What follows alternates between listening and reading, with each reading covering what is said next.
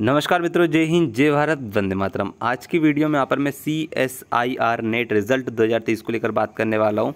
भाई यहाँ पर आपको रिज़ल्ट कैसे चेक करना है, कैसे डाउनलोड करना है, वो आज की वीडियो में आपको बताऊँगा कि C S I R NET का रिज़ल्ट आपको कैसे देखना है, कैसे डाउनलोड करना है। तो आज की वीडियो में यहाँ पर आपको मैं लाइव रिज़ल्ट चेक कर कर बताऊँगा। तो वीडियो में एंड तक बने देना है, वीडियो को बिल्कुल भी स्कीप मत करना है, क्योंकि C S I R NET के रिगार्डिंग कोई भी इन्फॉर्मेशन रहती कोई भी अपडेट रहती है, वो हमारे चैनल के माध्यम से आपको सबसे पहले प्रोवाइड कर दी जाती है।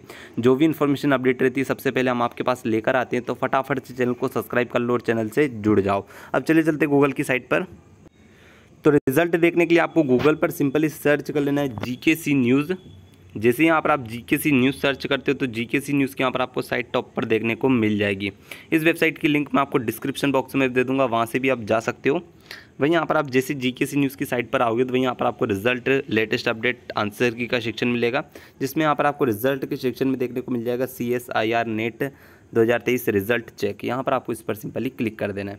इसके बाद यहाँ पर आपको नीचे स्क्रॉल डाउन करते हुए जाना है। आर्टिकल्स देख को मिल जाएँगे, जिसको यहाँ पर आप पढ़ सकते हो। यहाँ पर आपको नीचे आ जाना है और देखने को मिल जाएगा C S I R NET answer key result दो हज़ार तेईस क्लिक है अब यहाँ पर आप आपका रिज़ल्ट कैसे देख सकते हो, कैसे चेक कर सकते हो तो वो मैं आपको बता देता हूँ। जैसे यहाँ पर आप क्लिक के ऑप्शन पर टच करते हो, अगर आपके सामने एक ऑप्शन आता है जिसमें पर आपसे पासवर्ड, रजिस्ट्रेशन नंबर या रिज़ल्ट पैनल खुलती है तो समझ लीजिए कि रिज़ल्ट आ चुका है।